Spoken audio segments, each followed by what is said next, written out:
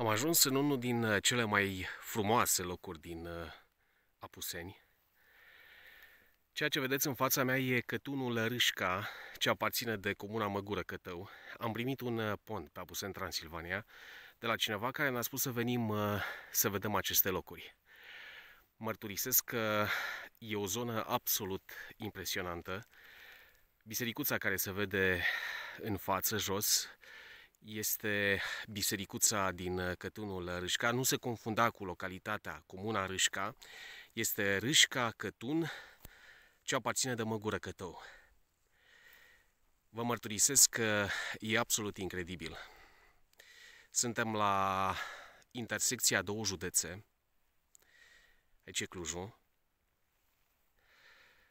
Și dacă mergem puțin peste drum, peste deal, că suntem pe o coamă de deal undeva pe la 1300, 1300 și ceva de metri altitudine, descoperim uh, o priveliște absolut impresionantă spre Muntele Mare, spre județul Alba. Este o bucurie.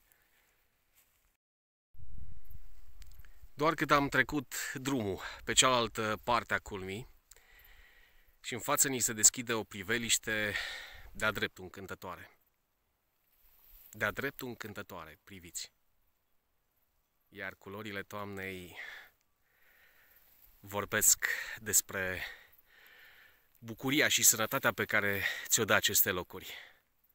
Doamne, ce frumoase sunt! Eu uh, sunt pentru prima dată în acest uh, loc, în acest punct de belvedere. Dincolo e Cătunul Râșca, dincolo de culme, în jos e Valea Ierii și, uh, sigur, în perspectivă e Muntele Mare, județul Alba, pentru că suntem, uh, iată, la intersecția celor uh, două județe, Cluj și Alba. Așa cum mai spuneam, nu m-aș fi imaginat că are Clujul asemenea locuri frumoase în Apuseni. E superb. Vă dați seama câți au auzit de Cătunul Râșca.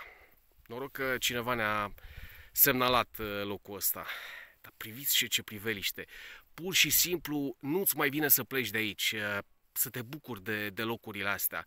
Mă gândesc că ce sănătate au oamenii ăștia care trăiesc în, uh, în tihna muntelui, aici în Apuseni.